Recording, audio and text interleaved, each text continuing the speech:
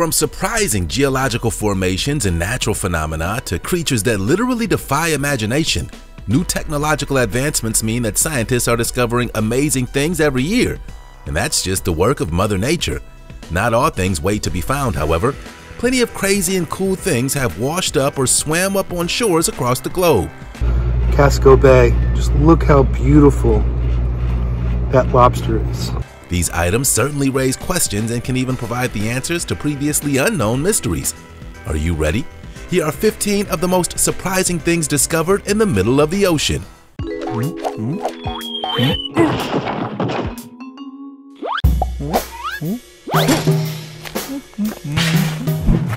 Creepy giant squid. We know they exist, and we also know how long they've inhabited the sea, but capturing one of these elusive creatures on camera is almost unheard of. But scientists recently achieved the holy grail of underwater cinematography filming a living giant squid. They were first identified in 1925. However, since then, few specimens have been recovered and there's still very little known about this species. Our knowledge is based on how very few specimens there have been captured in deep sea fisheries or found in the stomachs of this species' most significant predator, the sperm whale. So, this footage is quite a marvel. It's the first giant squid ever recorded in US waters, a 10 to 12 foot juvenile in the Gulf of Mexico. And that's a small one. These massive squids are reported to measure over 40 feet in total length when fully grown. The lucky team behind the squid footage used a stealth camera system in their deep sea exploring. The machine baits them with an electronic jellyfish, which imitates the deep sea prey these squids love. But as you can see, the giant squid backed off from the bait once it realized the e-jelly was not food. We did not find a monster, researchers made clear in the post about their journey. Giant squids are smart too. Now hmm. let's get ready for hmm. today's missing topic. Do you think this fisherman is standing a little too close to the bow of this boat? Certainly he's noticed there's a monster in the water. We couldn't miss it. But the question is, what kind of shark is it? Is it the iconic great white? The great white shark is the world's largest known predatory fish. It has 300 teeth, yet does not chew its food. Sharks rip their prey into mouth-sized pieces which are swallowed whole. The shark's heavy torpedo-shaped body allow it to cruise efficiently for long periods of time, and then suddenly switch to high-speed bursts in pursuit of prey, sometimes leaping out of the water. Or is this beast in the water the Meg? The megalodon shark became extinct 3.6 million years ago, but estimates suggest it grew up to 60 feet in length, three times longer than the largest recorded great white shark. But do you think that's what we're looking at here? Use the hashtag missing topic with your comments below. Let's get this conversation started. Hey, hey, oh. did you know that if you smash the like button, subscribe, and click the notification bell, you're more likely to win the lottery? So what are you waiting for? Mysterious tar lily. Speaking of the Gulf of Mexico, researchers stumbled across an unfamiliar ecosystem during a recent dive. At 6,000 feet below the sea surface, sonar detected several large objects, so they sent the rover to investigate. What they found were large rocks shaped like large flowers, the mysterious tar lily. In a nutshell, they're the remains of an old asphalt volcano in the shape of a lily, so it was dubbed a tar lily. It was covered with various sea creatures and found a second tar lily was found nearby. They should technically be called asphalt lilies because they're rare types of volcanoes under the ocean surface that are asphalt volcanoes. As you could guess, they erupt asphalt instead of lava. The asphalt is very hot when it erupts, but the cold seawater quickly cools it. And you get this. It looks like someone squeezed a tube of toothpaste straight out of the ground. As the asphalt cools, the stream of material breaks off and cracks until the eruption stops. The cold asphalt spreads out in a flower shape, and now these tar lilies are a thriving ecosystem. When the sonar first detected these formations, the crew thought they may have come across a shipwreck and were ready to start identifying bits of wreckage. Instead, they found something equally fascinating. Headless Chicken Monster Seen during a Gulf of Mexico expedition at a depth of 1.3 miles, plus another video was taken from a remotely operated vehicle off the east coast of Africa at a depth of 7,100 feet. The common names for this bizarre creature include Spanish dancer, and you guessed it, the headless chicken monster. This so-called monster is a rarely sighted one, pinkish red creature with a body like a plump-breasted chicken, just without a visible head. In truth, this hen mimicking swimmer is a sea cucumber, But unlike most sea cucumbers, this species has fins, which allow it to swim. While most types of sea cucumbers spend the majority of their time on the seabed, swimming sea cucumbers like the headless chicken monster land only to feed. The transparent monster can be seen foraging on the ocean floor with various tentacles as if it's going for a stroll. It can also be seen swimming upward with its fins, which most sea cucumbers can't do. Sea cucumbers are in the same family of marine animals that include starfish and sea urchins. There are about 1,250 known species, some of which are harvested illegally because they're prized as delicacies and folk medicine ingredients. 900-year-old sword. A sword believed to have belonged to a crusader knight who sailed to the Holy Land almost a millennium ago was recovered by a sharp-eyed amateur diver. A man diving off the coast of northern Israel, not far from his home, recently stumbled onto a 900-year-old sword dated to the time of the Crusades. He spotted the sword and other centuries-old artifacts on the seabed off the coast, where shifting sands had apparently made them suddenly visible. He literally found treasure. The four-foot-long sword, which has been preserved in perfect condition, is a beautiful and rare find. It was found encrusted with marine organisms, but it apparently made of iron.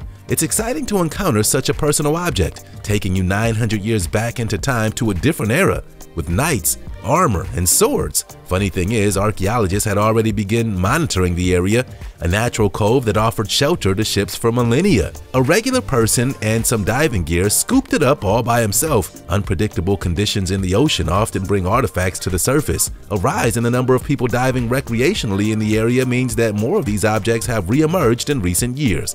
Earlier discoveries have shown that the site was active as long as 4,000 years ago. Googly-eyed squid. A purple squid with big old googly eyes was recently spotted by scientists off the coast of Southern California. The team spotted this off the coast of California at a depth of 2,950 feet. The stubby squid is a small cephalopod, a family of marine animals that includes octopus, squid, and nautilus. The stubby squid looks like a cross between an octopus and a squid, but is more closely related to cuttlefish. It has eight tentacles or arms with suckers and two retractable tentacles like squid. The head or mantle is oblong and rounded, and their coloration ranges from red-brown to gray-green, and they can change colors to match their environmental or ecological context. But don't the stubby squid's giant eyes look painted on? These adorable sea creatures can be found in waters from Japan to Southern California and typically dwell along the ocean floor at depths of around 984 feet, though they've been spotted as deep as 4,200 feet. That's a big difference. This species spends life on the seafloor, burrowing into the sediment to camouflage, leaving their eyes poking out to spot prey like shrimp and small fish. And they're found from Japan to Southern California. They move their fins or push water from their body cavities to move around, and they leave behind a blob of black ink when disturbed.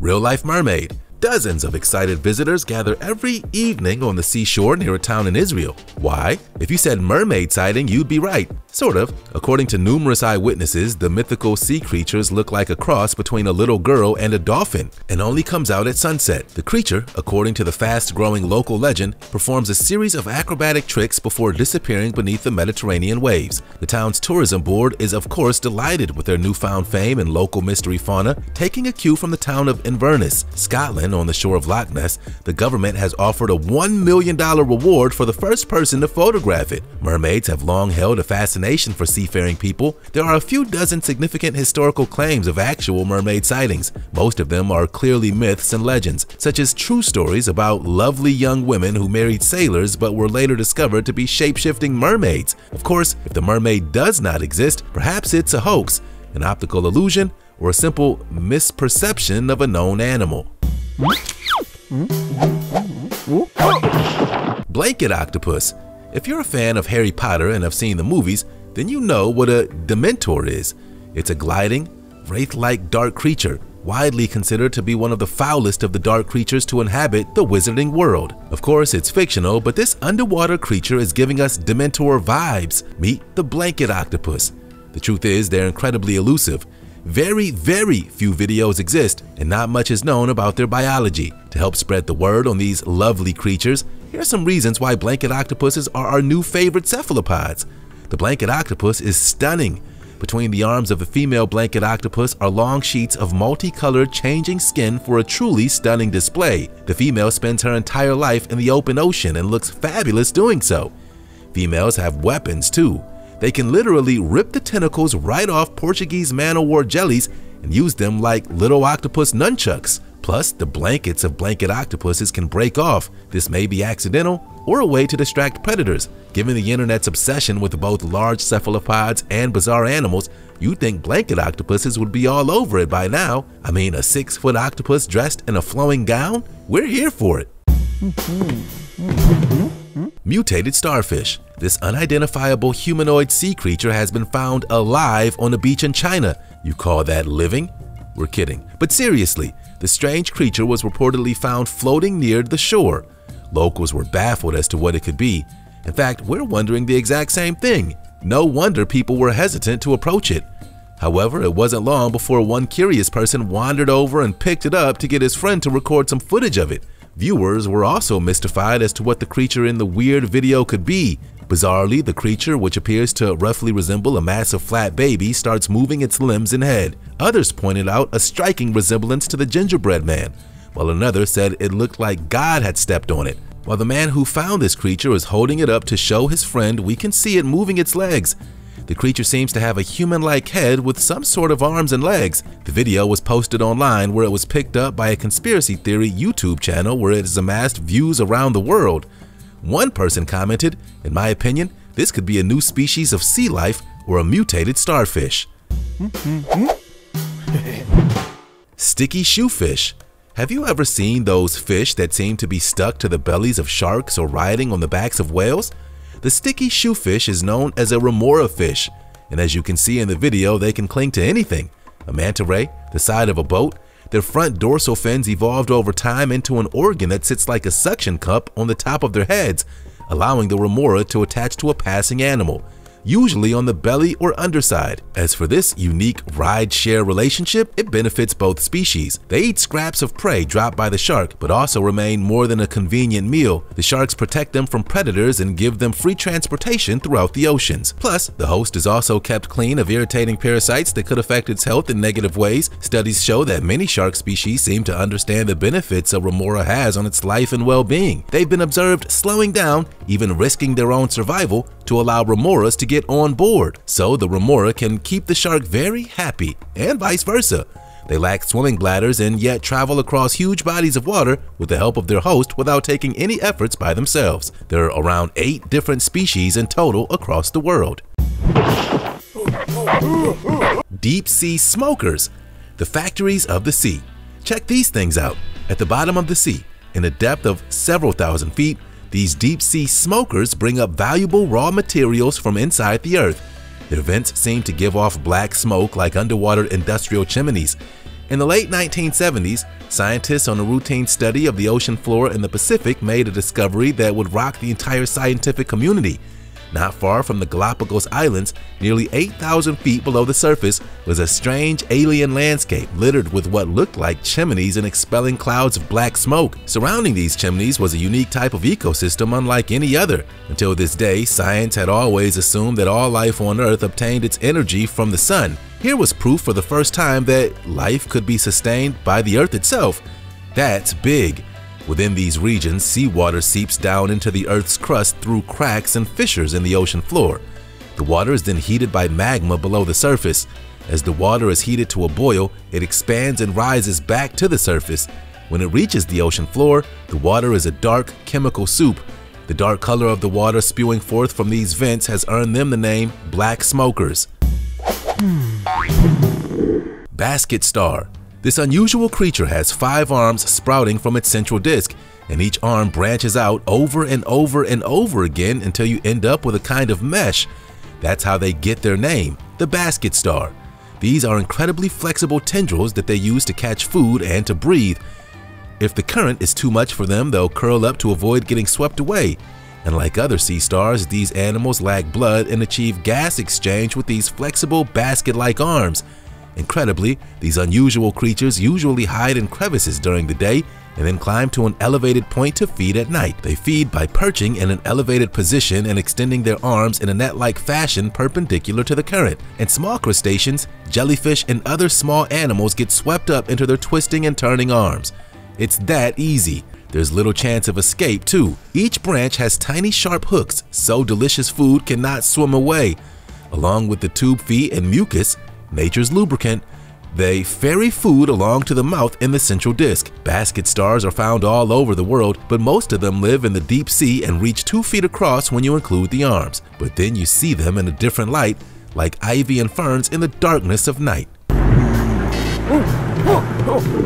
The Phantom Jelly in 25 plus years of scientific underwater surveys, researchers have been lucky enough to observe this rare animal on camera only nine times, thousands of feet beneath the sea. That's because the giant phantom jelly is a rare, shy animal at depths we rarely reach, one that can inspire awe and terror because, well, I mean, look at it. Now, thanks to researchers, a remote operated vehicle spotted the elusive giant phantom jellyfish in the midnight zone, an area of the open ocean about 3,200 feet below the surface, and one of just nine of the team's encounters with the species since it was discovered in 1899. Footage and photos unveil the crimson animal's bulbous body and its four billowing blanket-like arms that have the capability to stretch 33 feet out into the water and uncannily resemble a hat and scarf flying in the wind. Full phantom fantasy. It also lives in what's known as the Midnight Zone, a location in the water column that's not quite the twilight zone or the abyss. That's the sweet spot between 3,300 and 13,000 feet below the surface. No sunlight reaches this depth of the ocean, which is frankly terrifying to think of in the context of a ghostly jellyfish like this. sea pork. They say that pork is the other white meat. Who knew it could be seafood? But chances are we would never want to eat this. And recently, people have seen things they can't quite figure out. Hundreds of little purple pimpled objects that looked like earlobes or maybe tiny kidneys. Something that looked like a blood clot half smothered by sand. A scrap of rubber, maybe, that has sprouted lime green fur. The list goes on. The question always remained what the heck is it? Sea pork can be bologna pink, purple as bloody liver, or the creamy beige of roast turkey. The name is said to come from the fact that dead tunicates sometimes resemble slabs of glistening fat. The term can refer to several species of tunicates, invertebrates that have been siphoning, filtering, and squirting water for hundreds of millions of years. But do they have a face? Can they move around? Many of these creatures are composed of colonies of organisms called zooids, nestled together in a gloopy tunic. This sheath is made partly of cellulose and functions as a sort of gelatinous exoskeleton like strong, squishy armor. The majority of these organisms find strength in numbers, cemented to the seafloor, usually no deeper than 660 feet. Cotton candy lobster. A Maine lobsterman recently made a startling discovery when he pulled up a rare lobster with a bright blue speckled shell, the color of cotton candy. He found the female lobster in Casco Bay, an inlet of the Gulf of Maine. Its name is Hattie. The reason for Hattie's special shell is likely due to an inherited genetic mutation of her diet. Lobsters usually have three or four different pigments, like red, blue, and yellow, that layer together to produce the lobster's dark brown tone. Their color comes from a pigment molecule that binds to other proteins. Depending on those bonds, the shell reflects different wavelengths of light that we can see as color. Some living lobsters naturally have more or less of a given pigment, which can produce an off-color critter. Hattie appears to be missing all pigments except blue, which leaves her with a cotton candy colored hue. Like flamingos, lobsters incorporate pigments from their diet into their coloration, and missing a key food source could fade their color. If the cause of Hattie's unusual color is her diet, eating pigment-rich foods could change her color back to normal over time. Experts estimate the lobster is 1 in 100 million found, though it's unclear exactly how many there are in the wild. The baby blue shellfish turn up about once every 4 to 5 years. Great Pacific Garbage Patch also known as the Pacific Trash Vortex, this garbage patch, a patch of marine debris particles, is in the central North Pacific Ocean. It's a collection of plastic and floating trash that originates from the Pacific Rim, including countries in Asia, North America, and South America. Yikes! Despite the common public perception of the patch existing as giant islands of floating garbage, Its low density prevents detection by satellite imagery, or even by casual boaters or divers in the area. This is because the patch is a widely dispersed area consisting primarily of suspended fingernail-sized or smaller, often microscopic, garbage particles. Researchers claim that the patch covers 620,000 square miles.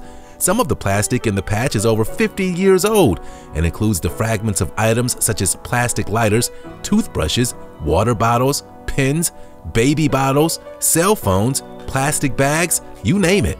Estimated to be double the size of Texas, the area contains more than 3 million tons of plastic. The Ocean Cleanup Project returned to the waters of the Great Pacific Garbage Patch with a redesigned trash collecting system that was its largest yet and marked by a massive haul of plastic waste. In 2020, they removed just over 500,000 pounds. These videos prove just when you think you've seen it all, the ocean never disappoints. It's always a great place to see new things and marvel at more amazing creatures.